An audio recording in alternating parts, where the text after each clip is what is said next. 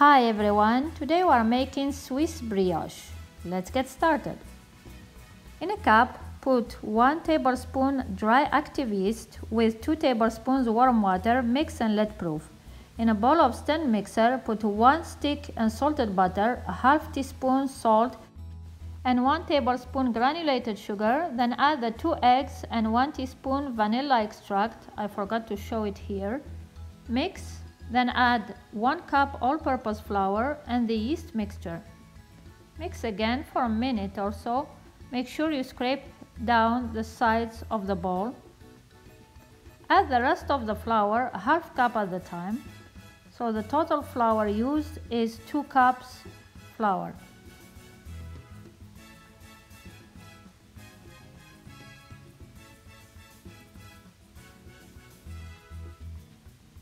Mix well until it's well combined, then sprinkle with flour and gather the dough into a bowl.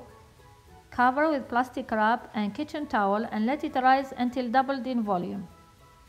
Sprinkle a working board with flour, then deflate the dough and use a rolling pin to roll out the dough into a thin rectangle. Spread pastry cream evenly on half of the rectangle for the pastry cream, I already shared a video on this channel, so please check the link down below this video. Sprinkle chocolate chips on the pastry cream, then use the back of a spoon or spatula to press down on the chocolate chips and fold the other side of the dough over the pastry cream and chocolate chips, seal the edges. You can use a knife to cut out or trim the rectangle and make it nicer or just shape it nicely with your hands.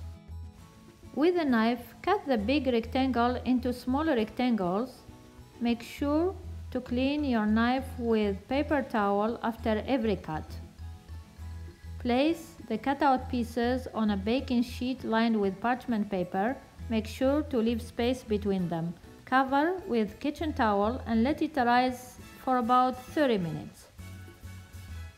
Brush the brioche with egg wash and bake in a 350 degrees Fahrenheit preheated oven for about 15 to 20 minutes or until golden.